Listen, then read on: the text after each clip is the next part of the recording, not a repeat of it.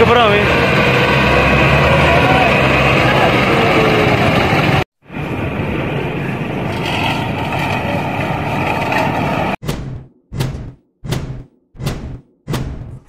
ਬਿਸਮਿਲ੍ਲਾਹਿਰਰਹਿਮਾਨਿਰਰਹੀਮ।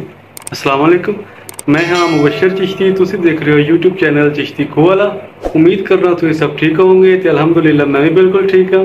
ਤੇ ਅੱਲਾ ਦਾ ਨਾਮ ਲੈ ਕੇ ਅੱਜ ਦੀ ਨਵੀਂ ਮਜ਼ੇਦਾਰ ਵੀਡੀਓ ਦਾ ਆਗਾਜ਼ ਕਰਨੀ ਅੱਜ ਮੈਂ ਜਾ ਰਿਹਾ ਕਬੂਲਾ ਸ਼ਰੀਫ ਤੇ ਕੀ ਕਰਨ ਜਾ ਰਿਹਾ ਮੈਂ ਉੱਥੇ ਜਾ ਕੇ ਤੁਹਾਨੂੰ ਦੱਸਣਾ ਤੇ ਮਿਲਨੇ ਇਨਸ਼ਾਅੱਲਾ ਰਸਤੇ ਵਿੱਚ।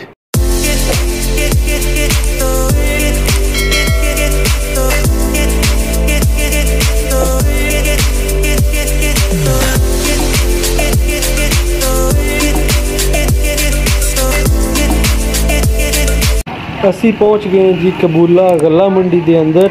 ਅਸੀਂ ਗੇਟ ਐਂਟਰ ਕਰ ਰਹੇ ਹਾਂ। ਤੇ ਤੁਸੀਂ ਦੇਖੋ, ਹਰ ਤਰਫ ਰਸ਼ ਹੀ ਰਸ਼ ਹੈਗਾ ਇੱਥੇ।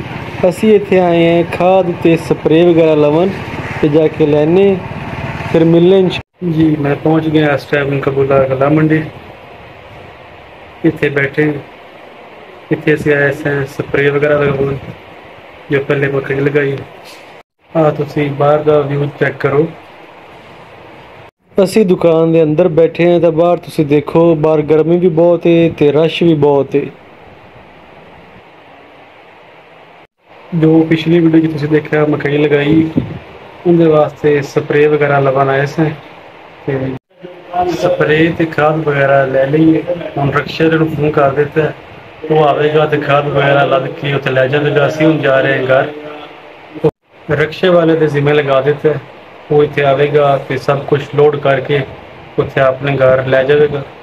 ਤੇ ਮਿਲਨੇ ਇਨਸ਼ਾਅੱਲਾ ਹੁਣ ਘਰ ਜਾ ਕੇ, ਅਸੀਂ ਜਾ ਰਹੇ ਹਾਂ ਘਰ ਤਕਰੀਬਨ 3 ਵਜ ਰਹੇ ਨੇ ਤੇ ਗਰਮੀ ਬਹੁਤ ਹੈ ਅੱਜ। ਆ ਰਾਸਤੇ 'ਚ ਦੇਖੋ ਜੀ ਕਿ ਟ੍ਰੇਲਰ ਉਲਟਿਆ ਪਿਆ, ਅੱਲਾ ਮਾਫ ਕਰੇ। ਇੱਥੇ ਰੁਕਨੇ ਤੇ ਫਿਰ ਇਹਨੂੰ ਦੇਖਨੇ। ਪਤਾ ਨਹੀਂ ਕਿਸ ਤਰ੍ਹਾਂ ਉਲਟ ਗਿਆ ਅੱਲਾ ਪਾਕ ਮਾਫ ਕਰੇ। ਅਸੀਂ ਭਾਈ ਤੋਂ ਪੁੱਛਿਆ, ਉਹ ਦੱਸ ਰਿਹਾ ਸੀ, ਇਹਦੀ ਲੋਡਿੰਗ ਇੱਕ ਸਾਈਡ ਤੇ ਹੋ ਗਈ ਸੀ ਜਿਹਨੇ ਵਜ੍ਹਾ ਤੋਂ ਉਲਟ ਗਿਆ ਟ੍ਰੇਲਰ ਨੂੰ ਸਿੱਧਾ ਕਰਨ ਲਈ ਉਹਨਾਂ ਨੇ ਹੁਣ ਟਰੈਕਟਰ ਮੰਗਵਾਏ ਨੇ। ਬਰਲ ਟਰੈਕਟਰ ਨਾਲ ਬਹੁਤ ਮੁਸ਼ਕਲ ਹੈ। ਦੇਖੋ ਅੱਗੇ ਕੀ ਬਣਦਾ। ਹੁਣ ਸਾਰੇ ਸੂਰਤੇਹਾਲ ਤੁਹਾਡੇ ਨਾਲ ਸ਼ੇਅਰ ਕਰਨੇ। ਟਰੈਕਟਰਾਂ ਨੂੰ ਸੰਗਲ ਵਗੈਰਾ ਪਾ ਲਏ ਨੇ। ਦੋ ਟਰੈਕਟਰ ਹੈਗੇ ਨੇ। ਇੱਕ ਪਿਛਲੀ ਸਾਈਡ ਤੋਂ, ਇੱਕ ਇੱਧਰ ਆ ਤੁਹਾਡੇ ਸਾਹਮਣੇ। ਤੇ ਟ੍ਰੈਫਿਕ ਬਹੁਤ ਜ਼ਿਆਦਾ ਜਾਮ ਹੋਈ ਖਲੀ ਹੈ। ਤੁਸੀਂ ਸਾਹਮਣੇ ਦੇਖੋ ਕਿਉਂਕਿ ਰੋਡ ਜੋ ਬੰਦ ਹੋਇਆ ਖਲਾ ਫਿਲਹਾਲ ਤੇ।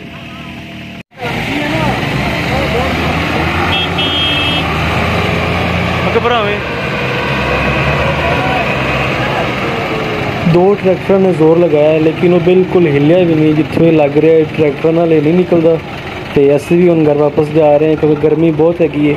ਦੇਖੋ ਕਿ ਕੀ ਬਣਦਾ ਕੀ ਨਹੀਂ, ਮਿਲਣਾ ਇਨਸ਼ਾਅੱਲਾ ਘਰ ਜਾ ਕੇ।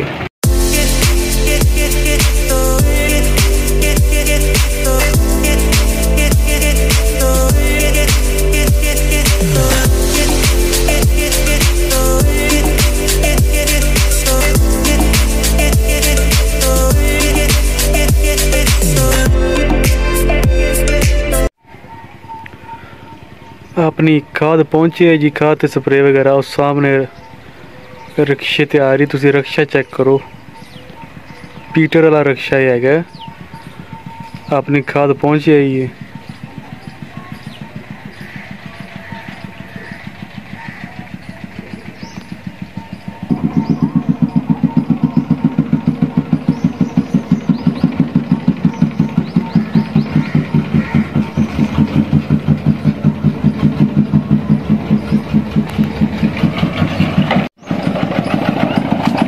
ਜੀ ਮਾਸ਼ਾਅੱਲਾ ਖਾਦ ਤੇ ਸਪਰੇਅ ਆਪਣੀ ਫਾਈਨਲੀ ਘਰੇ ਪਹੁੰਚ ਗਈ। ਹੁਣ ਇਹਨੂੰ ਅੰਦਰ ਰੱਖਣੇ ਹੈਗੇ। ਹੈ? ਜੀ ਤੇ ਅਸੀਂ ਘਰੇ ਪਹੁੰਚੇ ਐਸੇ ਗਰਮੀ ਬਹੁਤ ਸੀ ਆ ਕੇ ਫਰੈਸ਼ ਹੋਏ। ਤੇ ਪਤਾ ਨਹੀਂ ਫਿਰ ਉਹ ਟ੍ਰੇਲਰ ਉਹਨਾਂ ਨੇ ਕਿਵੇਂ ਸਿੱਧਾ ਕੀਤਾ ਜਾਂ ਕਿਵੇਂ ਨਹੀਂ ਕੀਤਾ। ਅੱਲਾ ਦਾ ਸ਼ੁਕਰ ਹੈ ਉੱਥੇ ਕੋਈ ਜਾਨੀ ਨੁਕਸਾਨ ਨਹੀਂ ਹੋਇਆ ਸੀ। ਉਹ ਟ੍ਰੇਲਰ ਉਲਟਾ ਸੀ ਕਿਉਂਕਿ ਜਿਹੜੀ ਉਹਦੀ ਤੇ ਲੋਡਿੰਗ ਕੀਤੀ ਹੋਈ ਸੀ ਨਾ ਉਹ ਇੱਕ ਸਾਈਡ ਤੇ ਹੋ ਗਈ ਸੀ ਤੇ ਜਿੰਨੀ ਵਜ੍ਹਾ ਤੋਂ ਇੱਕ ਸਾਈਡ ਤੇ ਵਜ਼ਨ ਚਲਾ ਗਿਆ ਤੇ ਉਹ ਉਲਟ ਗਿਆ। ਅੱਲਾ ਦਾ ਸ਼ੁਕਰ ਹੈ ਕੋਈ ਜਾਨੀ ਨੁਕਸਾਨ ਨਹੀਂ ਹੋਇਆ। ਅਸੀਂ ਉੱਥੋਂ ਆ ਗਏ ਸੀ।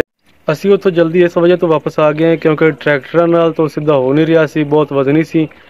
ਫਿਰ ਟਰੈਕਟਰ ਵੀ ਚਲੇ ਗਏ ਸੀ, ਹੁਣ ਪਤਾ ਨਹੀਂ ਉਹ ਕ੍ਰੇਨ ਮੰਗਵਾਉਂਦੇ ਨੇ ਜਾਂ ਜੋ ਵੀ ਸਿਸਟਮ ਲਾਉਂਦੇ ਨੇ। ਅਸੀਂ ਇਸ ਵਜ੍ਹਾ ਤੋਂ ਵਾਪਸ ਆ ਗਏ ਸੀ। ਉੱਥੇ ਕਾਫੀ ਦੇਰ ਲੱਗ ਜਾਣੀ ਸੀ, ਕਿਉਂਕਿ ਹਜੇ ਪਤਾ ਨਹੀਂ ਕ੍ਰੇਨ ਕਿੱਥੋਂ ਮੰਗਵਾਉਂਦੇ ਸਨ ਜਾਂ ਕ੍ਰੇਨ ਨਾਲ ਸਿੱਧਾ ਕਰਦੇ ਸਨ ਜਾਂ ਕੋਈ ਹੋਰ ਸਿਸਟਮ ਲਾਉਂਦੇ ਸਨ। ਕਾਫੀ ਦੇਰ ਲੱਗ ਜਾਣੀ ਸੀ, ਜਿੰਨੀ ਵਜ੍ਹਾ ਤੋਂ ਅਸੀਂ ਵਾਪਸ ਆ ਗਏ। ਤੇ ਮੈਂ ਉਮੀਦ ਕਰਨਾ ਤੁਹਾਨੂੰ ਮੇਰੀ ਵੀਡੀਓ ਅੱਛੀ ਲੱਗੀ ਹੋਵੇਗੀ। ਅਗਰ ਮੇਰੀ ਵੀਡੀਓ ਅੱਛੀ ਲੱਗੀ ਹੈ ਤੇ ਮੇਰੇ ਚੈਨਲ ਨੂੰ ਜ਼ਰੂਰ ਸਬਸਕ੍ਰਾਈਬ ਕਰ ਦਿਓ ਲਾਈਕ ਕਰ ਦਿਓ ਤੇ ਸ਼ੇਅਰ ਵੀ ਕਰ ਦਿਓ। ਮਿਲਨੇ ਹਾਂ ਇਨਸ਼ਾਅੱਲਾ ਅਗਲੀ ਵੀਡੀਓ ਵਿੱਚ। ਉਦੋਂ ਤੱਕ ਲਈ ਅੱਲਾ ਹਾਫਿਜ਼। ਮੈਨੂੰ ਆਪਣੇ ਦੁਆਵਾਂ ਵਿੱਚ ਯਾਦ ਰੱਖਿਓ। ਹੱਸਦੇ ਰਹੋ ਤੇ ਵਸਦੇ ਰਹੋ। ਅੱਲਾ ਹਾਫਿਜ਼।